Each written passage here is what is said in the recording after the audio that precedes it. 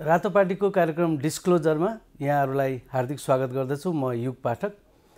आजको हाम्रो कार्यक्रम पूर्व प्रधानमन्त्री प्रचण्डसँग छ। खास गरेर नेपालको इतिहासको महत्त्वपूर्ण पछिल्लो घडीमा ठुला ठुला परिवर्तनहरूको नेतृत्व गर्नुभएको र पछिल्लो समय पनि राजनीतिको केन्द्रमै रहनुभएको धेरैको विश्लेषण अनुसार आजको पनि राजनीतिको साँचो प्रचण्डकै हातमा छ भन्ने गरिन्छ। उहाँसँग कुरा गर्न लागिरहेका छौँ। कुराको हाम्रो प्रसङ्ग अहिलेको समसामयिक विषयवस्तु छँदैछ। त्यसका अलावा अलावा हामी खास गरेर प्रचण्डको सपना के थियो पहिला र आज त्यो सपना कहाँ पुग्यो भन्ने बारेमा कुरा गर्न लागिरहेका छौँ।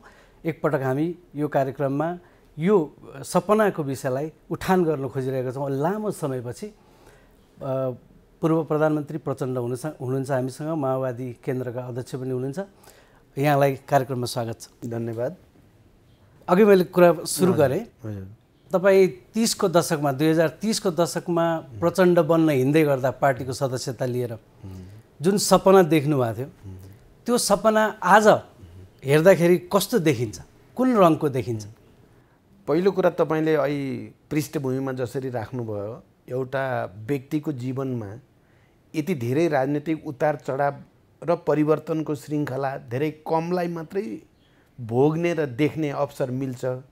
मलाई नेपालको राजनैतिक इतिहासमा त्यो गौरव मलाई प्राप्त भयो। मैले धेरै तितामिठा धेरै उतार चढाव धेरै ठुल्ठुला राजनीतिक परिवर्तन हुरी बतास आदि जे भन्नुहोस् त्यो सबै बिहोर्ने मौका मैले प्राप्त गरेँ र अहिले झन्डै चाहिँ बिस पच्चिस वर्षदेखि म नेपालको राजनीतिको केन्द्रीय विषयवस्तुको रूपमा पनि आफै पनि र मेरा एजेन्डाहरू पनि चाहिँ भएको स्थिति पक्कै पनि हो। अब रह्यो तपाईँले सपनाको कुरा गर्नुभयो है। अब सपनालाई म त्यति धेरै तपाईँको अब्स्ट्र्याक्ट रूपमा पनि भन्न चाहन्न र त्यति धेरै कन्क्रिट रूपमा पनि भन्न चाहन्न। किनकि मानिसको जीवनमा सबै चिज आफूले जे सोच्यो त्यही अनुसार नै हुन्छ र हुनुपर्छ भन्ने छैन। त्यो बाह्य परिस्थितिले धेरै हदसम्म प्रभावित गर्छ नै। मार्क्सले एकचोटि भन्नुभएको थियो र एङ्गल्सले त्यसको व्याख्या पनि गर्नुभएको थियो एक जमानामा कि चाहिँ मानिसका सपनाहरू सोचहरू कस्तो हुन्छन् भन्ने कुरा र उसको विशेषता के हुन्छ भन्ने कुरा चाहिँ फिफ्टी पर्सेन्ट त जेनेटिकल पनि हुन्छ फिफ्टी पर्सेन्ट इन्भाइरोमेन्टले गर्छ भनेर पनि भन्ने गर्नुहुन्थ्यो। तपाईँले भन्दा तिसको दशकमा पक्कै पनि मैले एउटा कम्युनिस्ट नेपालको चाहिँ सपना हो मैले देखेको जहाँ चाहिँ सर्वहारा बरको नेतृत्वमा सर्वहारा बरको अधिनायकत्व अन्तर्गत एउटा जनवादी र समाजवादी समाजको सपना हो मैले देखेको। र त्यसको निम्ति अनवरत सङ्घर्ष। अहिले त सपना कहाँ आइपुगे जस्तो अब त्यो सपना त्यही रूपमा जसरी मैले तिसको दशकमा एउटा युवा मानसिकता सहित एउटा चाहिँ पुरा स्पिरिटमा म दौडिन्थेँ अहिले त्यही रूपमा त त्यो पुरा हुने स्थिति रहेन। त्यो खालि मेरो कारणले या नेपालको आन्तरिक कारणले मात्रै होइन पुरै विश्व परिस्थितिको कारणले पनि विश्वभरिको क्लास स्ट्रगलको कारणले पनि र अन्तर्राष्ट्रिय कम्युनिस्ट आन्दोलनको उतार चढावको कारणले पनि त्यही रूपमा त पुरा भयो हुने भएनन्। तर जे उद्देश्यको निम्ति सङ्घर्ष गर्ने भनेर भनेको हो हामीले प्रगतिको निम्ति परिवर्तनको निम्ति न्यायको निम्ति समानताको निम्ति स्वतन्त्रताको निम्ति भएर जे सपना देखेको थियो मलाई फेरि के लाग्छ भने भिन्न परिवेशमा त्यो उद्देश्य त्यो मिसन चाहिँ अहिले पनि जारी छ र म त्यसैको निम्ति सङ्घर्षरत छु भन्न पाउँदा चाहिँ मलाई खुसी लाग्छ। अहिले संविधान जुन बनाउनु भयो तपाईँहरू सबै मिलेर खास गरी यो संविधान निर्माण गर्ने मामलामा तपाईँले नेतृत्वदायी भूमिका पनि निर्वाह गर्नुभयो। अहिले हेर्दाखेरि जुन संविधान बनेको छ त्यो संविधान जसमा तपाईँ आफ्नै र तपाईँको पार्टीको प्रशस्त धेरै नोट अफ डिसेन्ट पनि छ। त्यो संविधानले तपाईँले देखेको ती सपनाहरू र यत्रो आन्दोलनको नेतृत्व गर्दा त्यत्रो सशस्त्र जनयुद्धको नेतृत्व गर्दा जुन सपना थियो त्यो सपनाको कति प्रतिशत पुरा भयो जस्तो लाग्छ? अब यो कुरा तपाईँले ठिकै उठाउनु भएको छ कि संविधान निर्माणको कुरा र त्यो पनि संविधान सभाबाट र कम्तीमा पनि सङ्घीय लोकतान्त्रिक गणतन्त्रको सारवस्तु भएको संविधान निर्माण गर्ने कुरा माओवादी पार्टीको लागि र त्यसको नेताको हैसियतले मेरो लागि लाइफ एन्ड डेथकै प्रश्न ठान्छु म। त जीवन मरणकै थियो।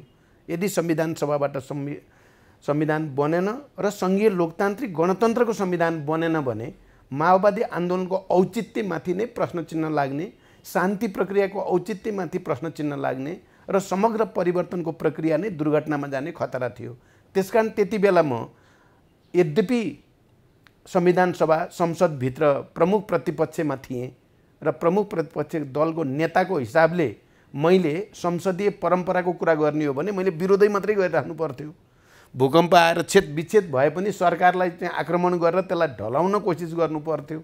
संसदीय परम्परा त्यही छ अहिले हेर्नुभयो भने हामीले जति राम्रो काम गरे पनि प्रतिपक्षले चाहिँ विरोधै मात्रै गर्ने जो चाहिँ संस्कार छ मैले त्यो संस्कार बदलेको हो। मैले प्रतिपक्षको भूमिका छोडेर सरकारको सहयोगीको रूपमा प्रतिपक्ष हुँदाहुँदै पनि सरकारलाई म सहयोग गर्छु भूकम्पमा नि सहयोग गर्छु तर त्यसको बदलामा तपाईँले संविधान दिनुपर्छ संविधान सभाबाट भनेर मैले त्यसमा सहयोगीको रूपमा पुगेँ म। र अनि त्यसले एउटा यस्तो मनोवैज्ञानिक वातावरण पनि बन्यो किनभने भूकम्प पीडितहरूलाई राहतको निम्ति उद्धारको निम्ति र पुनर्निर्माणको निम्ति सत्तापक्ष प्रतिपक्ष एक भएर आए भन्ने कुराले देशमा एउटा निकै ठुलो सकारात्मक सन्देश जनतामा गयो। एउटा ठुलो राहत जस्तो भयो राजनीतिक राहत। त्यो मनोविज्ञानले संविधान बनाउनको लागि एउटा मनोवैज्ञानिक प्रेसर ठुला पार्टीहरूलाई किनभने पार्टीगत रूपले त नेपाली कङ्ग्रेस एमाले ठुला थिए। उनीहरूमाथि मैले जबरजस्त मनोवैज्ञानिक प्रेसर बनाएँ भन्ने लाग्छ मलाई।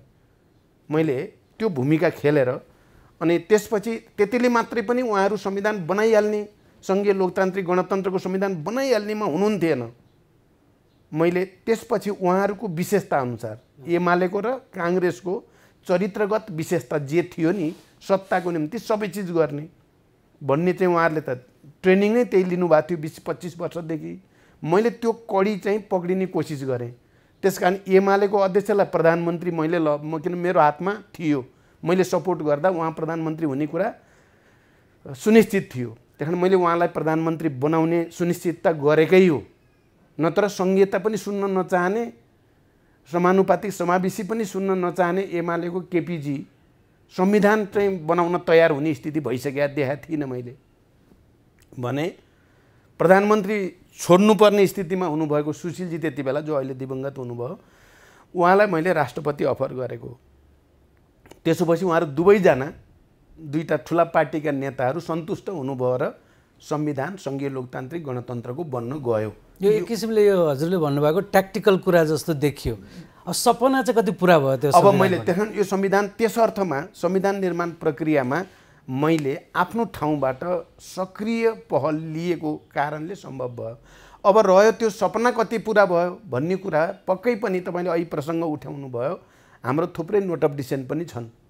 हामी आफै बहुमतमा भएको भए हामी आफै गणितीय रूपले चाहिँ त्यो निर्णायक ठाउँमा भएको भए हामी योभन्दा भिन्न ठाउँमा लान्थ्यौँ। हामी नेपाललाई दस प्रदेशमा लान्थ्यौँ। हामी नामाकरण गरेर जान्थ्यौँ प्रदेशको। जातीय पहिचान र वर्गीय चाहिँ हक हितका कुरालाई अझ बढी हामी राख्थ्यौँ जो नोट अफ डिसेन्टमा हामीले राखेकै छौँ। तर त्यो तत्काल त्यो पुरा हुने सम्भावना थिएन। त्यस कारण हामीले कम्प्रोमाइज त गर्नु नै पर्थ्यो।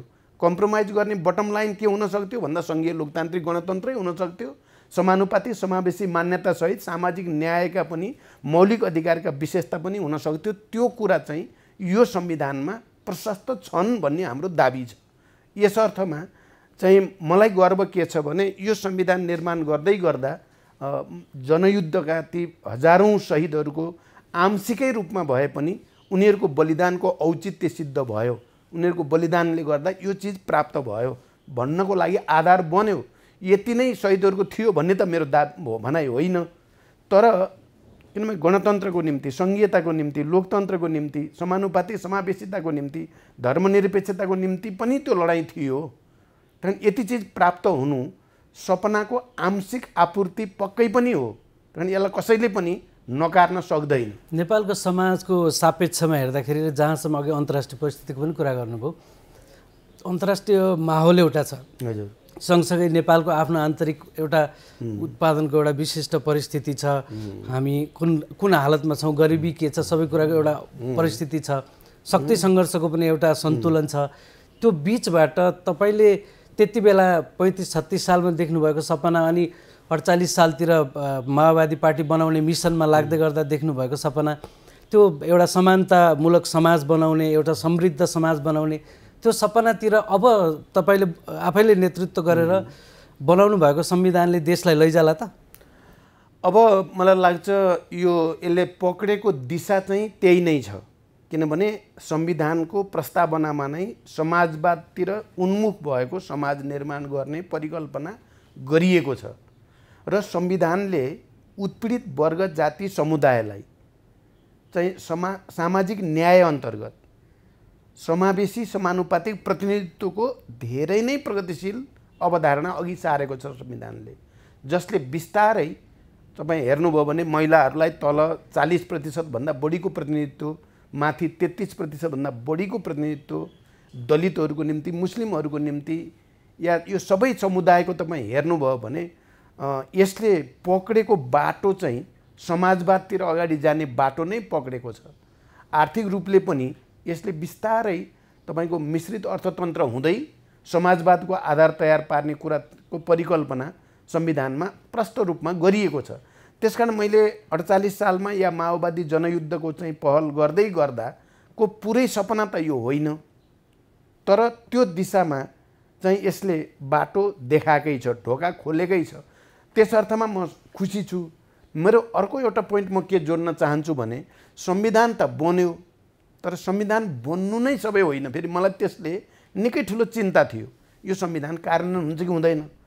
किनभने संविधान बनाउन रोक्ने शक्ति प्रवृत्ति तत्त्व चाहिँ फेरि संविधान बनि नै सकेपछि त्यसको कार्यान्वयन रोक्नेमा जान्छ।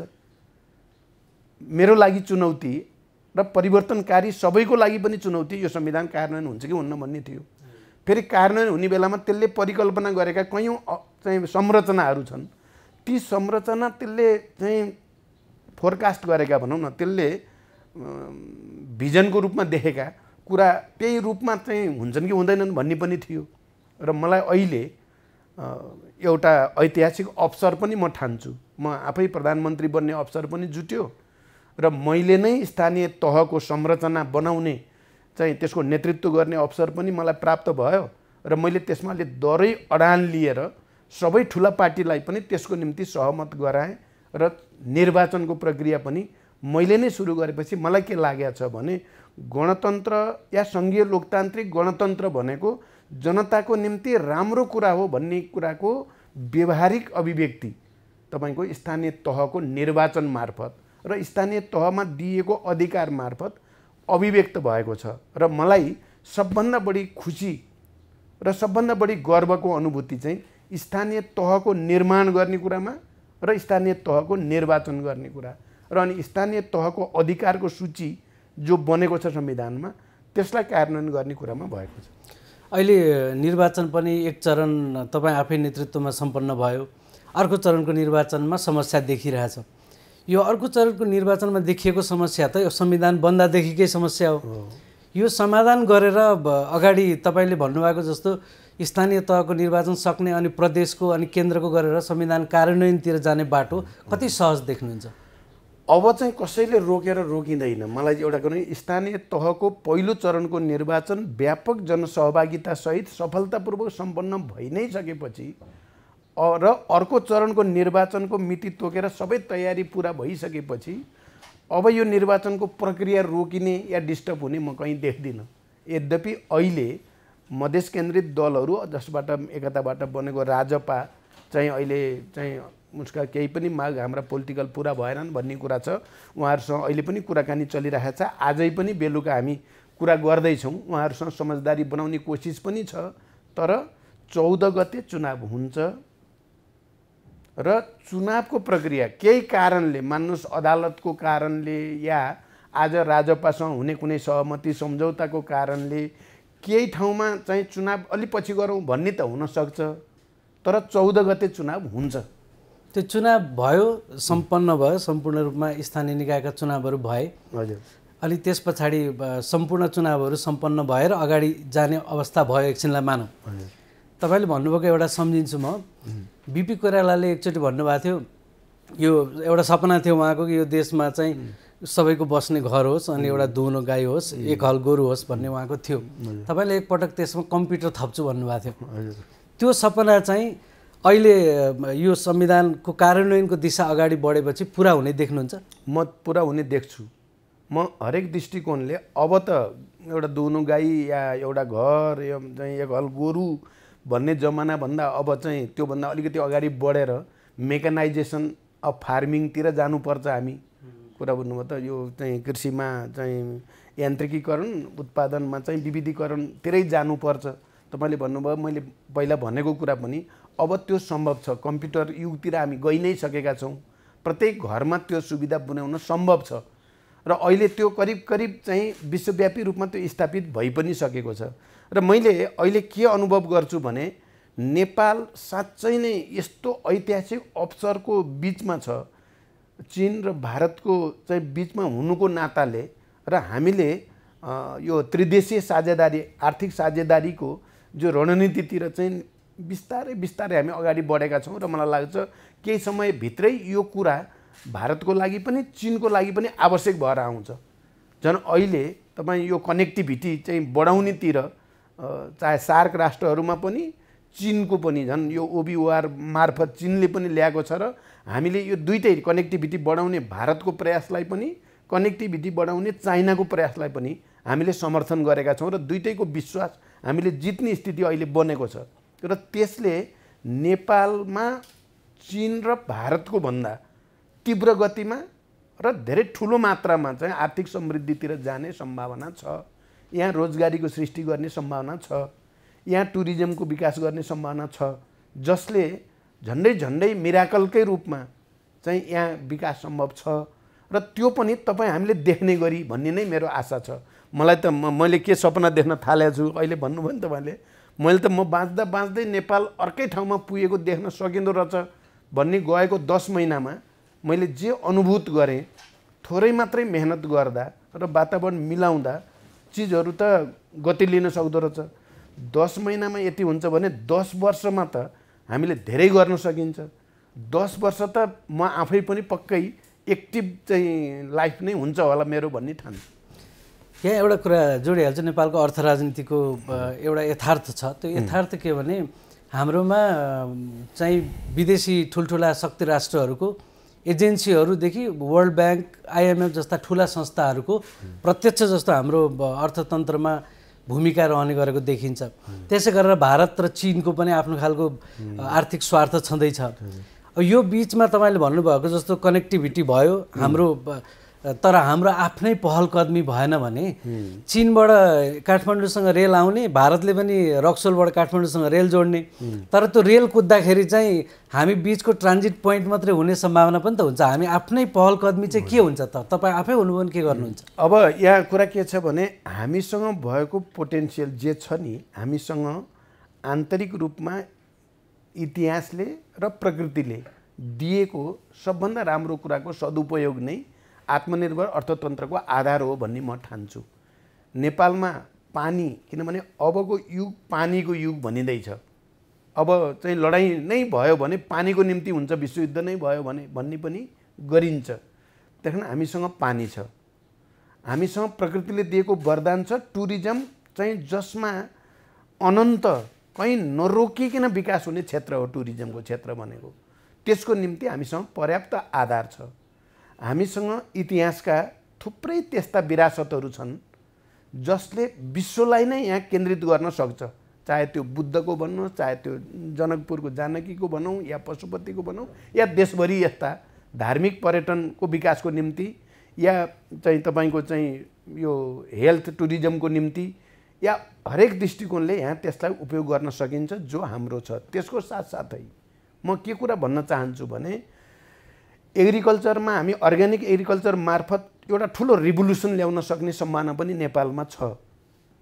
म थप र असाध्यै महत्त्वपूर्ण कुरा के भन्न चाहन्छु भने नेपालमा बहुमूल्य खनिजहरूको चाहिँ भण्डार छ भन्ने प्रमाणित भइसकेको छ। हामी त्यसलाई खोजी गर्नु छ। कुरा भने अत्यन्त बहुमूल्य खनिज हाम्रो हिमालको काखमा त्यस्ता खनिजहरू छन् भण्डार छ र पेट्रोलियम पनि हामीसँग छ भन्ने पुष्टि भइसकेको छ। त्यसलाई चाहिँ हामीले निकाल्न सक्नुपर्छ। अब हामी केन्द्रित हुने भनेको त्यतापट्टि जानुपर्ने हुन्छ। त्यसो भयो भने एउटा रिभोल्युसनरी ढङ्गले क्या क्रान्तिकारी ढङ्गले नेपाली समाजको आर्थिक समृद्धि चाहिँ दिन सकिन्छ र एउटा मोडेल नेपाल मार्फत एउटा मोडेल दिन सकिन्छ मेरो पहिलो कुरा। किनभने हामी आफ्नै साधन स्रोतलाई अधिकतम सदुपयोग गरेर आफ्नै खुट्टामा टेक्ने बाटो नै हामीले पक्रिनु पर्छ र फेरि नेपालको भू राजनैतिक अवस्थिति र एसियाका दुईवटा चाहिँ विशाल देशहरू भारत र चिन जो अब संसारकै पनि ग्लोबल पावरको रूपमा अगाडि आइ नै सकेका छन् उनीहरूको बिचमा हुनुको फाइदा लिन हामीले जान्नु पर्यो।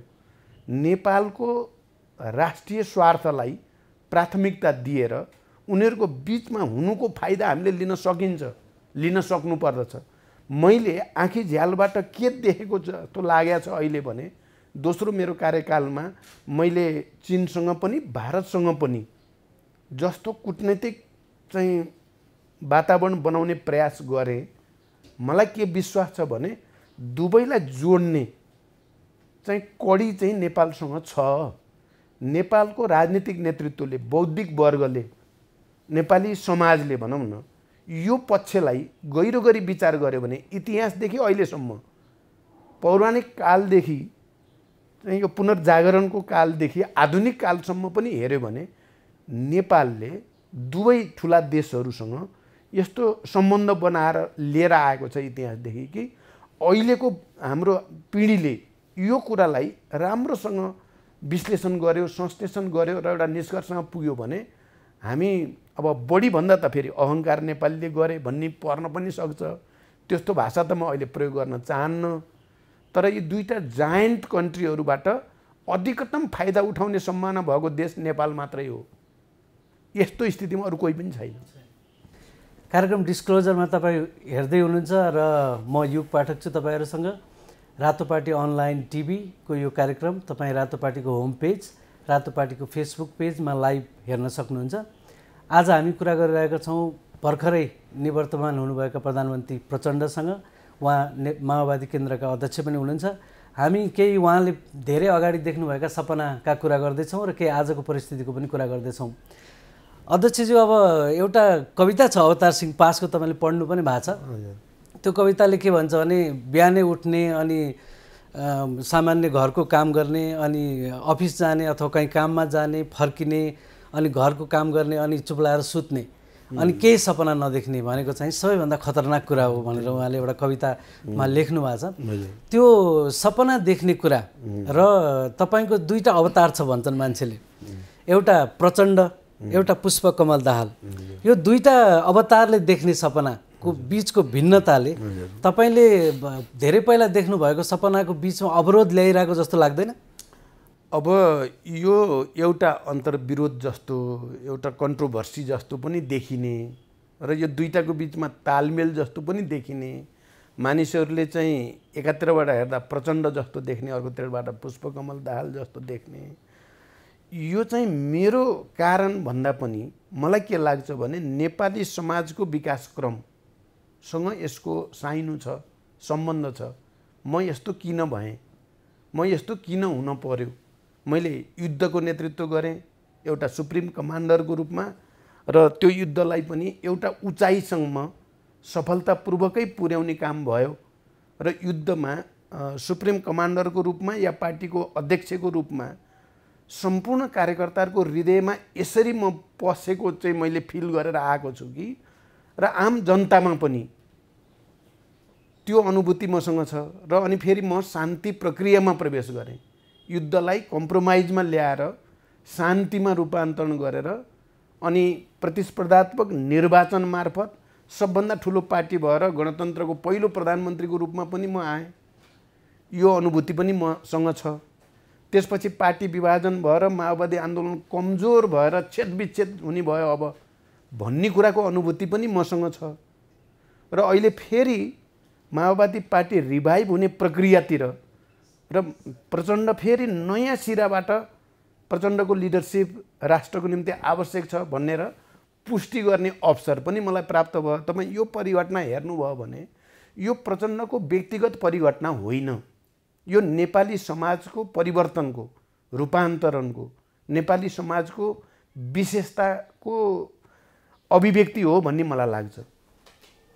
भनेपछि युद्ध र शान्ति युद्ध र शान्ति जस्तो मैले त्यसो भएर मैले अस्ति पोहोर साल लुम्बिनीमा गएर भन्दा त्यही भने क्या मैले अशोकाले त्यहाँ अशोका स्तम्भ छ नि त्यहाँ त्यो अशोका स्तम्भ अगाडि चाहिँ भने कि त्यति बेला पनि चाहिँ ठुलो युद्धको पनि नेतृत्व गर्ने र फेरि शान्तिको लागि चाहिँ बुद्धको चाहिँ उसमा जाने एउटा अशोका एउटा प्रतीकात्मक पात्रको रूपमा इतिहासमा छन्। मलाई गर्व छ मैले पनि युद्ध र शान्ति दुइटैको नेतृत्व गर्ने नेपालमा। एक्काइसौँ शताब्दीमा मलाई त्यो अवसर प्राप्त भयो। यो अवसर सितिमिति सबैलाई प्राप्त हुने अवसर होइन। मैले एकचोटि यहाँ अन्तर्राष्ट्रिय एउटा कार्यक्रममा भने सबैले त्यो कुरा स्वीकार पनि गरे। यस्तै अनुभव युद्ध र शान्तिको यस्तै अनुभव लेटिन अमेरिकी देशमा भएको भए अथवा युरोपमा भएको भए अथवा अमेरिकामा भएको भए सायद चाहिँ बडो चाहिँ मुक्त कण्ठले नोबेल पिस प्राइजको कुरा हुन्थ्यो होला। तर हामी नेपालमा भएको हुनाले यसलाई पश्चिमा दुनियाँले त्यति धेरै महत्त्व दिएको छैन पनि मैले भन्ने गरेको छु। हाम्रो हाम्रो देशको हाम्रो इतिहासको हैसियत के छ त्यो अनुसार पनि धेरै कुरा हुने होला। र सँगसँगै एउटा के जोडिन्छ भने संविधानमा तपाईँहरूले समाजवाद उन्मुख भनेर लेख्नुभयो। हामी सबैले लेख्यौँ लेख्यौँ भनौँ हामी सबैको संविधान भयो अब त्यो। र सँगसँगै पटक पटक तपाईँले बोल्ने कुरामा तिनवटा शब्द ख्याल गरेको छु मैले। हजुर। एउटा म एउटा मेरो र एउटा मैले। तपाईँको समाजवादको सपना र तपाईँले प्रयोग गर्ने गरेको यो तिनवटा शब्द यो यो त तालमेल मिल्दैन नि त। अब यो कस्तो हो भने नि इतिहासले चाहिँ मैले अहिले भने नि मेरो व्यक्तिगत केही पनि होइन भनेर भने तपाईँ यसलाई व्याख्यालाई ध्यान दिनु होला म मेरो मात्रै भन्ने भएको भए म मेरै कारणले भएको भन्थेँ। मैले त्यसो भनिनँ मैले प्रचण्डको यो व्यक्तिगत कुरा होइन। यो नेपाली समाजले बनाएको कुरा हो। त्यस कारण त्यसमा म भनेर व्यक्तिगत आत्मतुष्टि त्यसभित्र छैन भन्ने मेरो दाबी छ। मान्छेले मैले म भन्दाखेरि चाहिँ हुन्छ नि बुर्जुवा समाजमा म भित्र अन्तर्निहित चाहिँ सेल्फ सेन्ट्रिक आत्मकेन्द्रित व्यक्तिवादको गन्ध ममा छैन भन्ने मेरो दाबी छ। मैले म भन्दा किनभने म कसरी पनि हेर्छु भने म एउटा गरिब किसानको छोरा हो। मुस्किलले चाहिँ पेट पाल्न गाह्रो परेको हुनाले पाहाडबाट तराईमा बसाइ सरेको र तराईमा पनि धेरै दुःख कष्ट गरेर गुजारा गर्ने परिवारमा जन्मेको मान्छे हो। यो पहिलो कुरा। र मैले चाहिँ बडो दुःखले चाहिँ पढाइ पढ्दै गर्दा एसएलसी पास गरेर आइएससी पढ्न काठमाडौँतिर आउँदै गर्दा चाहिँ मैले देख्ने सपना के थियो पहिलो चाहिँ भने म चाहिँ इन्जिनियर अथवा पाइलट बन्छु भन्ने पहिलो सपना थियो। पाइलट बनेर मैले केही न केही गर्नुपर्छ भन्ने थियो। तर मैले सोचे जस्तो त भएन। कुरा भन्नु मैले जे सोचेँ नि भएन। मैले आइएससी समाजको आवश्यकताले डोर्याएको थियो। अनि त्यसपछि तपाईँको मैले अब त्यो चाहिँ पाइलटको सपना चाहिँ हट्यो। अनि मैले सेकेन्ड लेफ्टिनेन्ट हुने र आर्मीमा कमान्डर हुने देखेर मैले एनसिसी तालिम लिन गएँ। तालिम लिएँ पनि मैले एक वर्ष। र आर्मीमा जाने रहर पनि थियो। तर हुँदाहुँदै फेरि यस्तो प्रसङ्ग आयो कि त्यो आर्मीमा भर्ती हुन जाने भन्दा तपाईँको चाहिँ पोलिटिक्सतिर जानुपर्छ भन्ने वातावरण बनेर मैले चाहिँ सेकेन्ड लेफ्टिनेन्टमा जाने छोडिदिएँ फेरि। त्यो दोहोरो सपना त्यो पनि गयो। त्यसपछि पोलिटिक्समा लगाइसकेपछि जनताले र समाजले नै मलाई यस्तो बनायो। त्यस कारण म भन्दाखेरि मैले के देख्छु भने नेपाली समाजको परिवर्तनको एउटा सेन्ट्रलाइज एक्सप्रेसन हो। त्यहाँदेखि म भित्र मेरो व्यक्तिगत कुरो छैन भन्ने मेरो दाबी हो। म पाठकजी म तपाईँसँग मार्फत आम दर्शकहरूसँग यो कुरा भन्न चाहन्छु। मैले म भन्दाखेरि मैले व्यक्तिगत म आत्मतुष्टिको लागि भनेको छैन। किनभने तपाईँले अहिले प्रचण्ड र पुष्पकमल दाहालको प्रसङ्ग ल्याउनु भयो जुन म शान्ति प्रक्रिया आएदेखि नै यो चलेको चलेकै छ। यो डिस्कोर्स यति धेरै चल्या छ कि प्रचण्ड हो कि पुष्पकमल हो। एक थरीले प्रचण्ड लेख्नै चाहँदैनन्।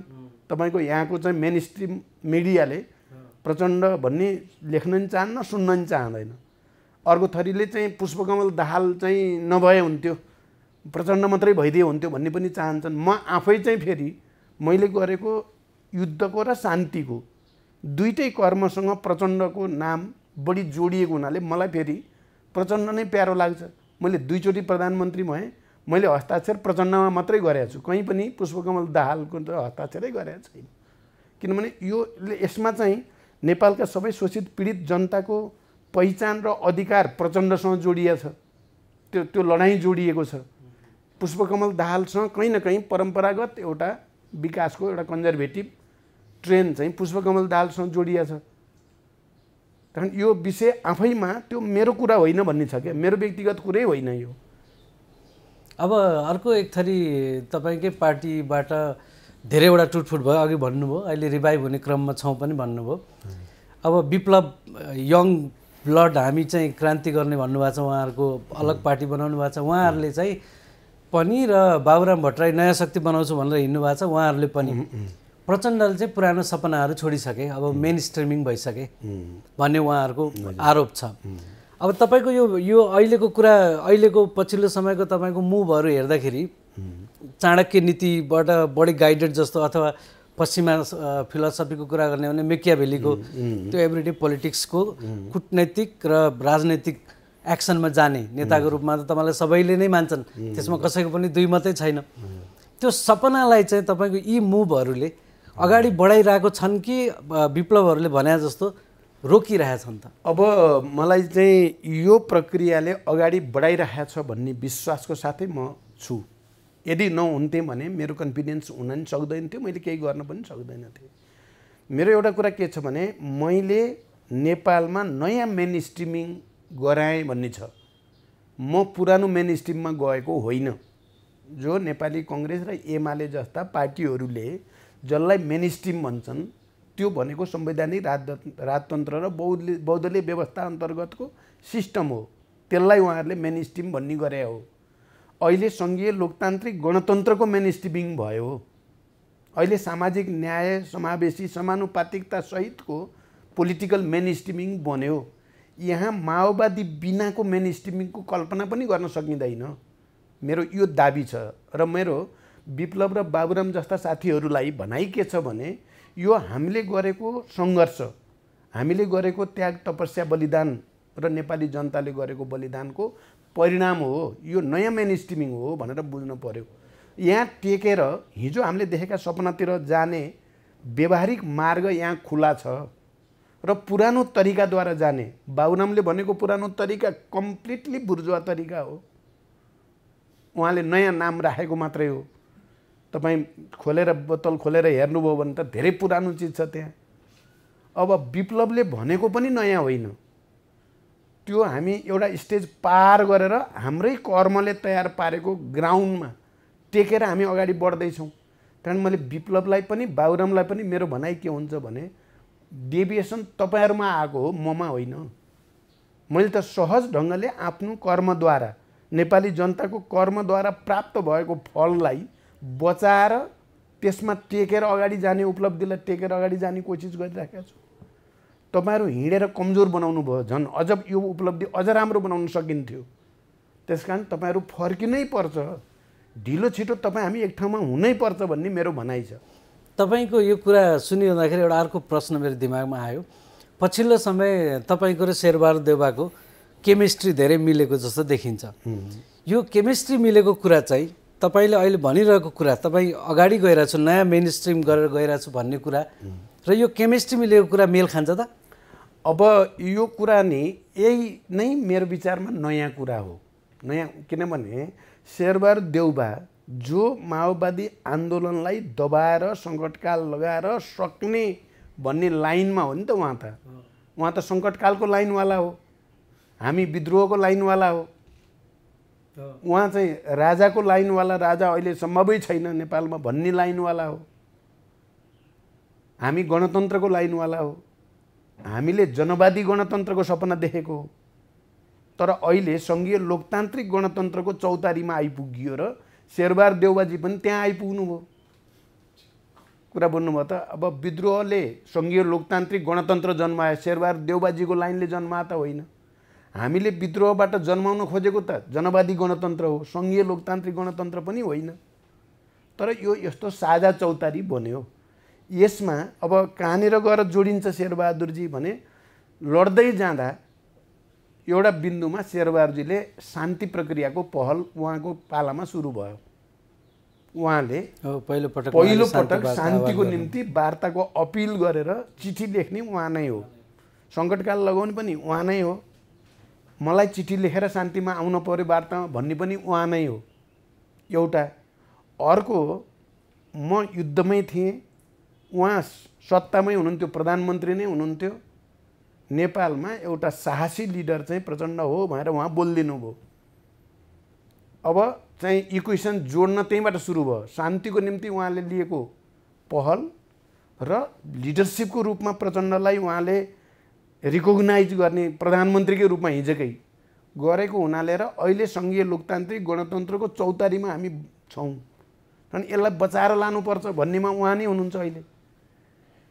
संविधान बचाउनुपर्छ कार्यान्वयन गर्नुपर्छ भन्ने भएको हुनाले यो अहिले हाम्रो मिलन चाहिँ हिस्टोरिकलै हो भन्ने छ मेरो। हिस्टोरिकलै हो भन्ने छ। यो उहाँसँग मात्रै होइन। मेरो माधव नेपाल या केपी ओलीसँग पनि हो फेरि। अहिले त उहाँ सरकारमा नभएको मात्रै हो। किन फेरि मैले समर्थन गरेर केपिजी पनि प्रधानमन्त्री त बन्नुभयो नि त। भोलि पनि बन्न सक्नुहुन्छ। त्यति हो। अब सधैँ सबै सिद्धियो भन्ने त छैन। किनभने राजनीति त सम्भावनाको खेल हो भन्ने त छँदैछ त्यसकारण यो चाहिँ वास्तवमा ऐतिहासिक परिवर्तनलाई आत्मसातीकरण उहाँहरू एक स्टेप अगाडि बढेर या हामी एक स्टेप पछाडि हटेर एउटा बिन्दुमा कम्प्रोमाइज त भएको छ। कारण शेरबहादुर देउबा र प्रचण्डको यो चाहिँ त्यही चाहिँ ऐतिहासिक आवश्यकताद्वारा निर्देशित छ। उहाँ पुरानो शेरबहादुर देउबा होइन म जनवादी गणतन्त्र कायम नगरेसँग हतियार नबिसाउने प्रचण्ड पनि होइन। त्यहाँ चाहिँ कहीँ न कहीँ यो चाहिँ छ। अन्तिममा एउटा तथ्य नै हो यो। सबैलाई थाहा भएको तथ्य र धेरैले एप्रिसिएट पनि गरेको तथ्य के भन्दाखेरि यो अहिलेको भर्खरै तपाईँले नेतृत्व गर्नुभएको सरकार पछिल्लो समयको इतिहासकै सफल सरकार हो भनेर व्याख्या पनि गरिएको छ। आर्थिक वृद्धि दर सात पोइन्ट पाँच पर्सेन्टभन्दा बढी। अनि त्यस पछाडि लोड सेडिङ चाहिँ कहिले कसरी आँकडाले मुक्त हुँदैन लोड सेडिङ हुँदै हुँदैन भनिएको लोड सेडिङ मुक्त गरेर देखाइदिनु भयो तपाईँकै सरकारको पालामा। अब बाँकी केही कुराहरू भए केही कुराहरू भएनन् तर सफल सरकारको रूपमा धेरैजनाले हेरेका छन्। यो सरकारको नेतृत्व गरेर यहाँसम्म आउँदाखेरि र भोलि त्यहाँबाट सिंहदरबारबाट निस्किँदै गर्दा तपाईँले भन्नुभएको मलाई याद आउँछ। म फेरि आउँछु मलाई स्वागत गर्न तयार रहनु होला भनेर भन्नुभएको छ। तपाईँको त्यो समाजवादको सपना र अहिलेको यो सब हेर्दाखेरि तपाईँ तपाईँको सपनाले फेरि तपाईँलाई बालुवाटारतिर बढी लगिरह सिंहदरबारतिर बढी लगिरह हो कि? या तपाईँले देख्नुभएको बिपी कोइरालाको सपनामाथि थपेको कम्प्युटर युग त्यतातिर लगिरह हो? अब मलाई त चाहिँ कम्प्युटर युगतिरै लगिराखेको लागेको छ है।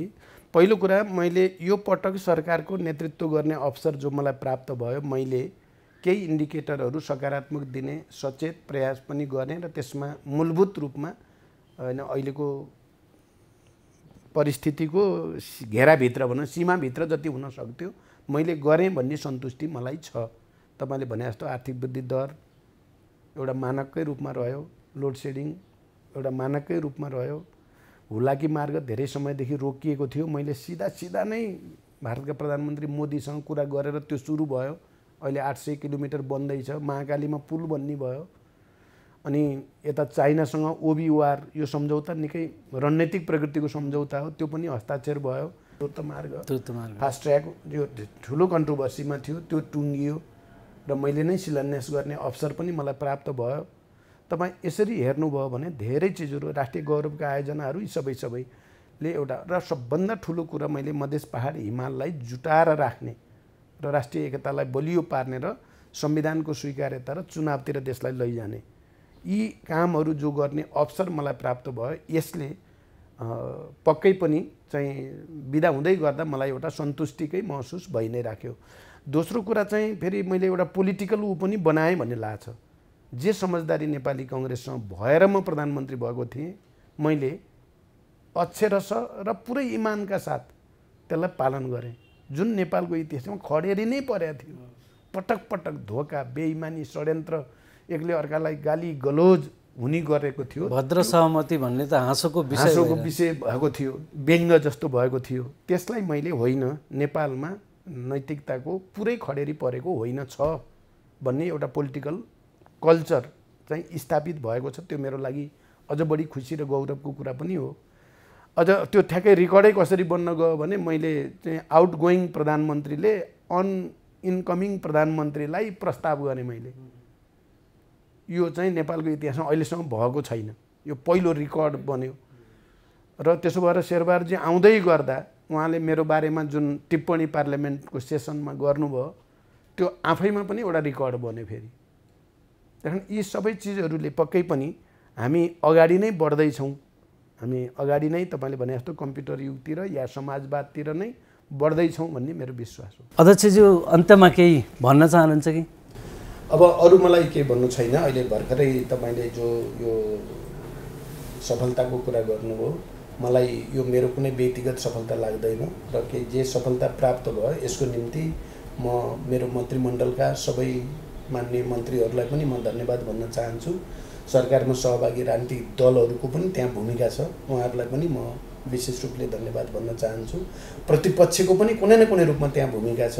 म उहाँहरूलाई पनि धन्यवाद नै भन्न चाहन्छु र अझ त्यसमा पनि मधेस केन्द्रित दलहरू सङ्घीय गठबन्धनका साथीहरू जो जो लगातार वार्ता संवादको प्रक्रियाबाट यहाँसम्म चाहिँ सरकारलाई अगाडि बढ्न मद्दत गर्नुभयो। तिनलाई र आम नेपाली जनताले जो अपार माया मलाई दिए तिनीहरूलाई र मैले गरेका राम्रा कामहरूलाई जनतामा पुर्याउने पत्रकार मित्रहरूले पत्रकारिता जगतबाट जो भूमिका भयो ती सबैलाई पनि म धन्यवाद भन्न चाहन्छु। धन्यवाद। दर्शकहरू तपाईँहरूले भर्खरै डिस्क्लोजर कार्यक्रम हेर्नुभयो। हामी पूर्व प्रधानमन्त्री प्रचण्ड माओवादी केन्द्रको अध्यक्ष पनि हुन्छ। उहाँसँग सपनाको बारेमा कुरा गर्दै थियौँ र हामीले भोलि देख्ने सपना भोलिका लागि देखिरहेको सपनाको पनि हामीले कुरा गऱ्यौँ। आजको कार्यक्रमबाट मलाई पनि बिदा दिनुहोस्। म युग पाठक प्रधान पूर्व प्रधानमन्त्री प्रचण्ड र हाम्रो सबै रातो पार्टी टिम बिदा माग्दछौँ। धन्यवाद नमस्कार।